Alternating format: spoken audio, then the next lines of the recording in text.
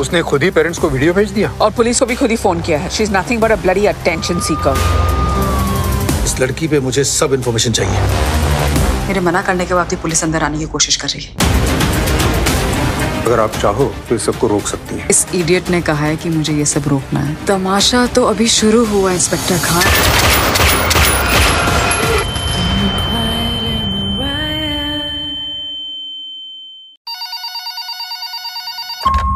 Colaba police station बोला।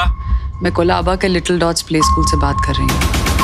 नैना जायसवाल यहाँ की टीचर मैंने 16 बच्चों को हॉस्टेज बना लिया। और मेरी कुछ डिमांड्स हैं। मैं एसीपी कैथरीन अल्वारेस बोल रही हूँ। घर में और कौन कौन है? मेरी हेल्पर सावित्री। और एक बच्ची का driver Naina listen to me no you listen to me मुझे जावेद खान से बात करनी है and your one hour hello Naina क्या चाहिए आप? पाँच करोड़। हो जाएगा। और उसके बाद आप बच्चों को छोड़ दोगी। सिर्फ़ एक बच्चा बाहर है। एक घंटा पाँच करोड़। सोलह बच्चों को हॉस्टेज ले लिया है। नैना पागल हो गई है क्या? नैना से बात करनी है प्लीज़ मोविन कर क्या रही हो? बच्चों के चिथड़े उड़ जाएँगे कहती। Back off Javed! तुम्हारी हरकतें ही बता रहे हैं कि तुम पागल हो। रियली तो मेरा असली पागलपन अब देखना।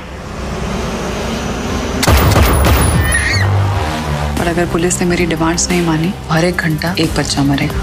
इन एन अल्फाबेटिकल ऑर्डर अब देखना यह है कि जीत किसकी होगी पुलिस की या नैना के पागलपन की। मीडिया में मुँह कौन खोला?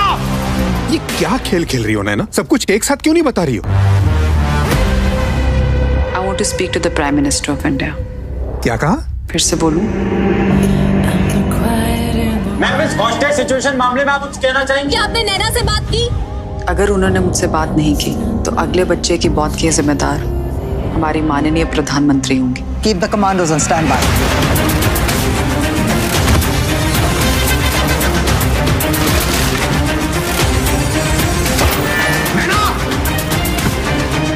साले क्या छुपा रहा है तू नैना के बारे में I am not a puppet.